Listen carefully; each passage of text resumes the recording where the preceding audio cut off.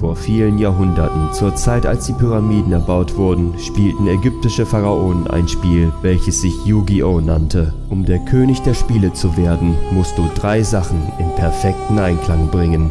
Körper, Geist und Deck. Alles klar, das kriege ich hin.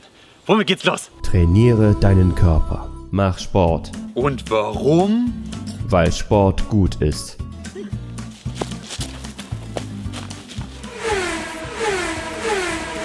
Iss mehr Obst. Ernsthaft?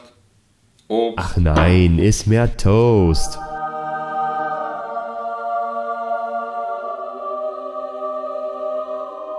Als nächstes trainiere deinen Geist. Verstehe deine Karten. Werde eins mit den Karten.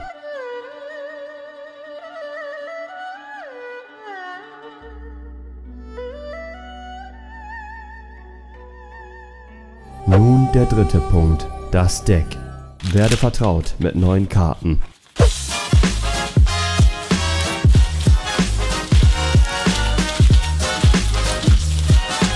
Glaube an das Herz der Karten. Alter, ernsthaft? Klischeehafter geht's echt nicht. Kleiner Scherz. Upgrade dein Deck. Nein, upgrade dein Deck. Upgraden. Jetzt bist du bereit.